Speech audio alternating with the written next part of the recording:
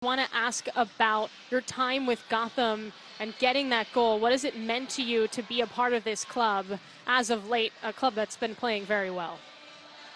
It's amazing. I mean, this is the best group I've ever worked with, and um, I'm just enjoying it so much. Obviously, tonight it's bittersweet because we had to win to make it into that top four. Um, yeah, I don't know what else to say. I'm, I'm, I'm thrilled to be with the group, and I just feel honored to be a part of it.